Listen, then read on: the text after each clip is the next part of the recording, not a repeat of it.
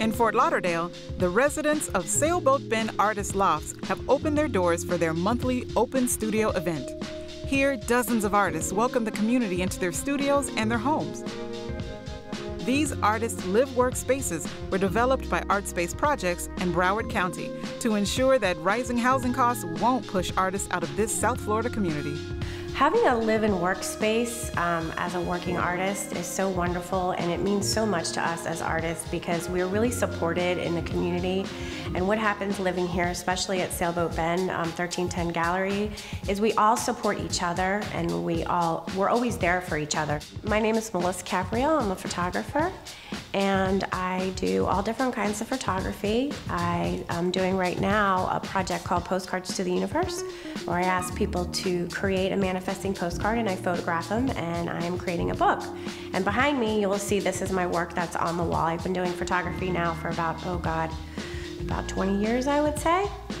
So what we do here at 1310 is when there's an event in the gallery, the residents will open up their doors. Like I have my door open tonight, and we'll have um, our, um, anybody who wants to can come in and see our studio and see our work and it opens it up to a whole bunch of people that don't even realize how much good local artwork there is. And everybody who comes into these studios absolutely loves it. They can't believe that this place even exists. We believe in a diverse community, and that includes having artists here. Uh, artists can contribute so much and open people's minds to creativity, uh, to technology, to new ideas. And it's very important that we have artists living amongst us. And as property prices rise in, in neighborhoods like this, it's important that we still have places for artists to live, to work, and to integrate into our community. These open events are a hit with visitors, but they aren't the only ones who benefit from the interaction. It allows me to get involved with community. Um, it's an incredible space. I have nothing to worry about here. It's um, there's other artists that are great. Uh, the environment's terrific. We do shows here every month. Um, each artist gets another month and they can do whatever they want here. So it's an incredible opportunity.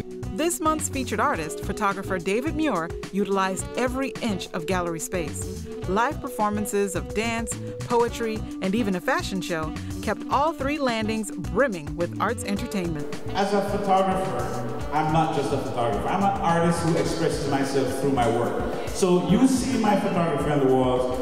I do want you to know that even though I have gained some amount of notoriety because of my photography. Don't think for a second it's not still difficult to show your work and to open yourself up to critique and to really just put yourself out there. And so I am very, very, very, very happy to be able to do that one more time.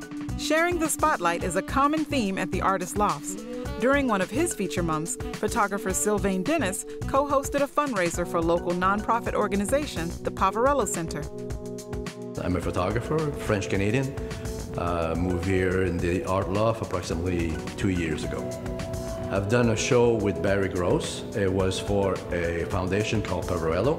Some of the proceeds of the sale of the art went towards their foundation, which helps feed some um, underprivileged families in Fort Lauderdale. It was a fantastic show. A lot of photographers specialize in one type of photography. I'm one of the rare few that will probably hit every type of photography style or things to photograph that's out there. I started as a photographer from nature and landscape. I've shot everything else from New York uh, fashion. I've done some in LA, um, and everything else portrait, uh, anything you can imagine. I've, the more difficult, the more challenging, the more fun, and the better I'm at it. Nico Eulis fully embraces his role as an artist and an arts educator. My name is Nico Eulis. I am a visual artist and also a professor at Broward College Central Campus and South Campus. In my career, in my job, I am both artist and professor equally.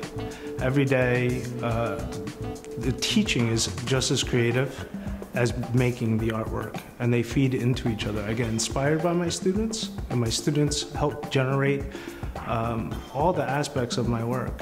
And then with that work, I try to give it back to them so that they can see the same kind of inspiration they give me. I, I, try to do all mediums. Every medium is unique, and in that uniqueness, uh, it tells and describes a story. So um, sometimes I find myself doing painting because it's going to impact the viewer properly, and then other times I might do ceramics because I want it to be held and be uh, much more of an interaction with the person, the viewer, the audience. So uh, the medium dictates a lot uh, and how my voice is going to be heard. There's so much great work to see. Consider this your invitation.